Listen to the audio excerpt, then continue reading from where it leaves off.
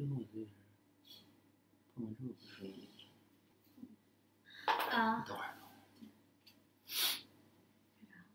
hi everyone, welcome to watch our live show today. I'm Nancy from Lachance. I'm in charge of product marketing, especially for aquaculture industry.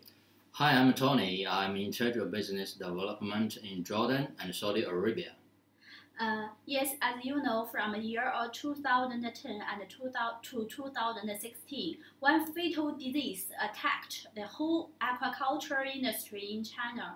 Because of this disease, the shrimp production was reduced to uh, almost 30% every year. Usually, at the beginning of outbreak of this disease, the feed intake on shrimp will be reduced abnormally and then the shrimp will stop eating and starve to death. Uh, more seriously, the living shrimps will eat the uh, dead shrimp body and also will infected with this disease. Uh, so it is very common that when shrimp is infected with this disease, the whole pound of shrimp will die. Wow, it is really a fatal disease to shrimps, and Yes. I know uh, this disease outbreak not only in China but also in many other countries in aquaculture industry. So, Yeah. what is the disease and how to prevent this disease? Yes, uh, that is also the topic of our live show today. Today we will introduce how to prevent EMS, and uh, we will introduce from these parts. The first one, the cause of EMS. What is the main cause of EMS? And the second, how to prevent and control EMS. And uh, also, uh, in the control method, we will introduce one of our product for uh, shrimp health. Yes. Yeah. Uh, so uh, we go to the first one. What is the cause of EMS and how to prevent EMS? Uh, we will explain it in detail in the following part.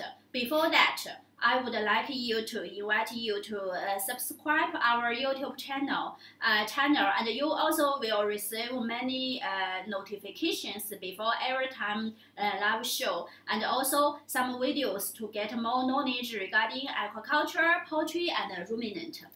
Uh, yes, and our company, Lachance, has, uh, has more than 16 years uh, history in feed industry, and we have a very professional team, a technical team, and many experts uh, in this industry.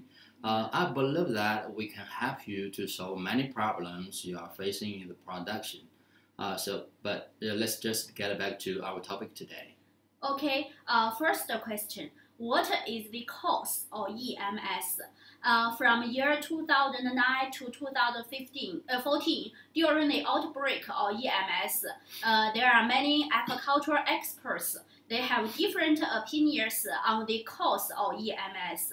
Uh, the many, uh, they, their opinions are many in below three aspects. First one, the degradation of shrimp breed. Second one, the worsening of water quality. The last one, the toxins reduce the immunity of shrimps. But uh, there was no U animals definition on the cause of EMS. Yes, and the professors from Hainan University uh, insist that EMS is caused by either virus or vibrio. After a long time research, uh, the professors reached a conclusion that it is Yeah. vibrio that causes the uh, EMS of shrimps. Uh, yes, uh, uh, refer to the vibrio. I think many shrimp farming farming customers or many customers are very uh, have or maybe have a surprise that uh, they never think that the EMS is caused by the vibrio, but uh, uh, it is truly yes for the vibrio. And uh, also, um, I think many shrimp farming customers are very familiar with the vibrio. Uh, vibrio is one very common germ that it exists in the seawater and also carried by shrimp by the shrimps. Uh, it can be found that the, the vibrio exists in the digestive tract of the shrimp. Uh, but when the sh- uh, vibrio quantity is very limited, the vibrio will not cause any harm to the shrimp. That is why no one connect the EMS disease to the vibrio. Uh, but the problem is that if, there is a large number of vibrio in the hepatopancreas of the shrimp, it will uh, release toxins and uh, those toxins will damage the tissue, hepatopancreas, tissue or hepatopancreas, and also impair the digestive, digestion and absorption functions of hepatopancreas. Uh, yes, and you know the structure of the shrimp body is uh, very simple and the digestive uh, system uh, of shrimp consists of uh, stomach, yeah, stomach and hepatopancreas uh, and intestine. Yes. Yeah. This uh, is this is the hepatopancreas yeah. of the shrimp. Yes. Yeah. And the hepatopancreas is the most important organ of the shrimp. The storage, digestion, and absorption uh, of nutrients are carried out uh, by the hepatopancreas. Yeah, uh, so we talk about the, that shrimp dies from the EMS actually because the hepatopancreas is infected with the toxins. Uh, we have a video to show you that the health hepatopancreas and the hepatopancreas infected with EMS. Let us check it.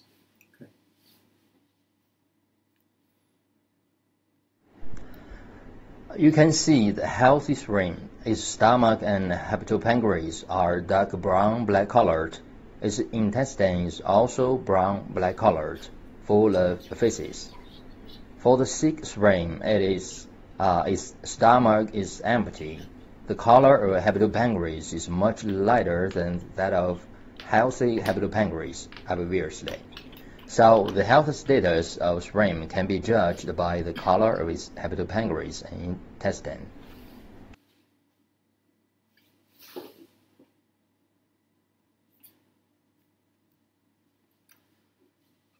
Uh, okay, uh, that's right. And uh, you know, when the quantities are very limited uh, in the shrimp body, uh, the vibrio will not affect the health of shrimps.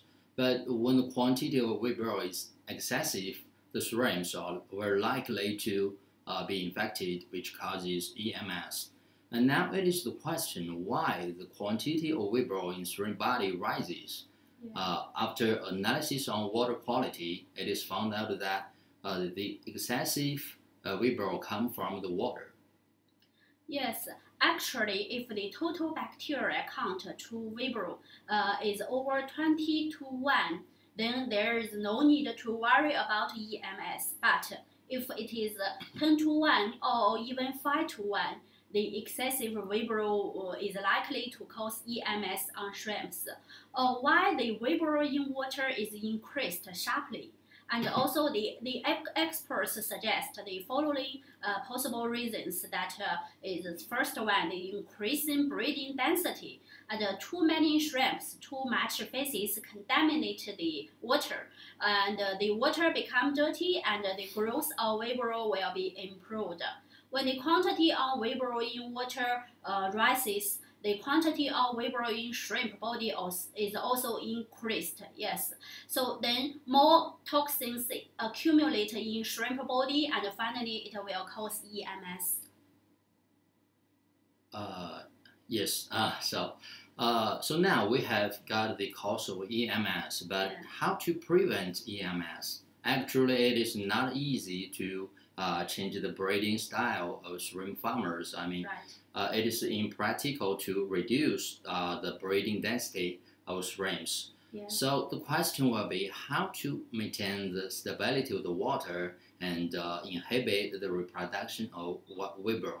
Yeah, uh, for this question, we have the following solutions. The first one, reduce the excessive feeding, reduce the feces and the other substances that support the reproduction of vibrio. Yeah, and the two, uh, maintain the stability of the normal water environment mm-hmm. and add microecological preparations, decompose the feces, and remove dirt. Yeah. Three, decompose the feces at the bottom of the pond through chemical agents. Uh, and four, when the temperature is high, the algae in the pond will multiply in large quantities, and as a result, the shrimp uh, will die in large quantities, which is beneficial to the reproduction of vibrio, especially in Southeast Asia uh, which can supplement uh, photosynthetic bacteria and inhibit the algae reproduction. Yeah, and uh, also uh, here here we want to mention the shrimp, the stress of the shrimp. The key to vibrio intrusion is the stress. Stress is the source of shrimp disease. Anti-stress method should be done to improve shrimp immunity, maintain water stability, and reduce external stimuli. In one word, there are two aspects for prevention of and control on vibrio. First one, dealing with the stress. Second one, dealing with this reproduction of the vibrio.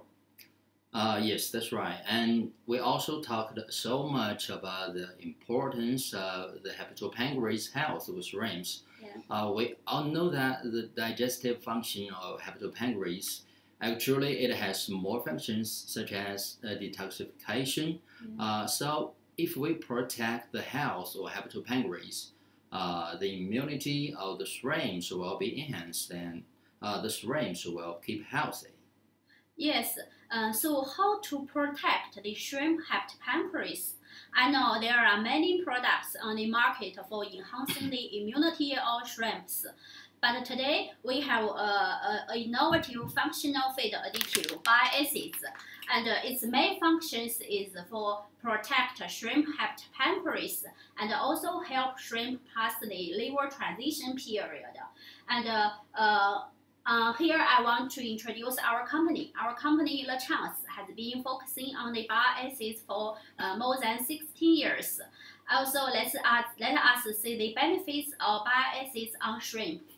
Uh, okay, I will introduce the benefits of acids on shrimp. Uh, first one, promote the metamorphosis and shorten uh, the molting time. And two, replace the part of cholesterol uh, to reduce the feed cost. And three, protect the health of hepatopancreas and intestine, which is mentioned so many times. Uh, and the survival rate of shrimps can be improved by 10%. And four, enhance the uh, anti-stress ability of shrimps anyway to uh, improve the, uh, the immunity of the shrimps so the shrimps will be kept healthy uh, and uh, the production can be guaranteed. Yes, correct. Uh, we have many customers that are using our bile acids in their shrimp farming. Here we have a video from one of our customers in Philippines. Let's take a look.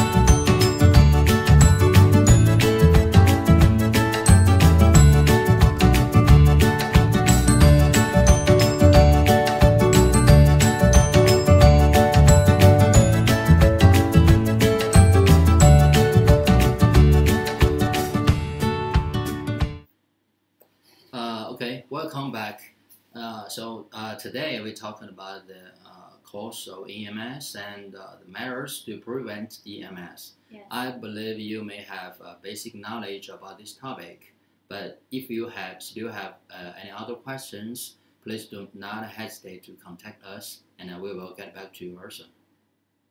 Yes, and last but not least, if you like our show today, please like, comment, and share it.